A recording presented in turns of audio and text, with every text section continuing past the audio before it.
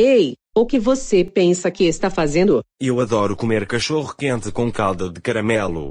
Eu tenho gostos muito peculiares. Isso é um absurdo.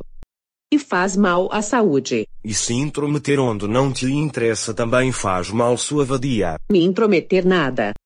Eu, como nutricionista, não posso ver um absurdo dessa escalada. A sua mãe me contratou para fazer você parar de comer besteira e é isso que eu vou fazer. Que merda é essa? Uma salada bem saudável para o senhor. Eu posso colocar calda de chocolate nessa bosta pelo menos? Claro que não. E por que não? Salada é uma bela merda. Talvez com calda de chocolate essa porra fique com gosto de algo. O senhor já está me enchendo com esses seus gostos peculiares medonhos que fazem mal à saúde. Medonhos nada. Apenas a mais pura culinária que não pode ser compreendida por pessoas inferiores. Tipo a senhora. Ou sim.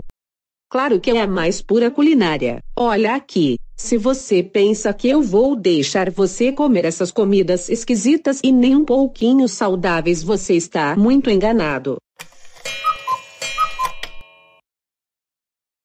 Eu bem que consegui convencer o seu filho a comer alimentos saudáveis, mas até com os alimentos saudáveis ele está fazendo misturas esquisitas. Que delícia é essas frutas com refrigerante sem açúcar por cima.